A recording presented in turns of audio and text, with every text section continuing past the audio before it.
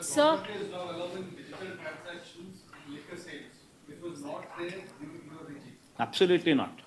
Absolutely not. Please go. Please see for yourself, verify for yourself. All these, all these shops, none of these are gov- none of these were private then.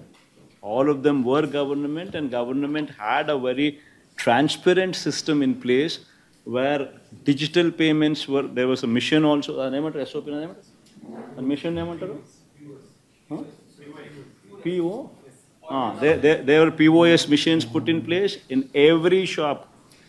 There were POS machines put in place. Anybody could make payments anywhere. You want to give 100 rupees in the form, you want to give 100 rupees in the form of a POS, you can give. If you do not want to give in the form of if POS, if you want to give it in the form of cash, you can, you're always welcome to do so.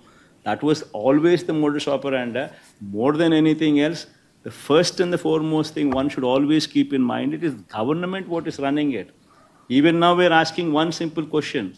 When government is running, running anything, there is transparency. Because it is government, it is not private operators. But whereas now, what you said is now going to be reality. Now everything is private. And everything is Telugu Desam పార్టీకి సంబంధించిన నాయకులు నడుపుతా ఉన్న వ్యవస్థ. ఇప్పుడు నా you ask these questions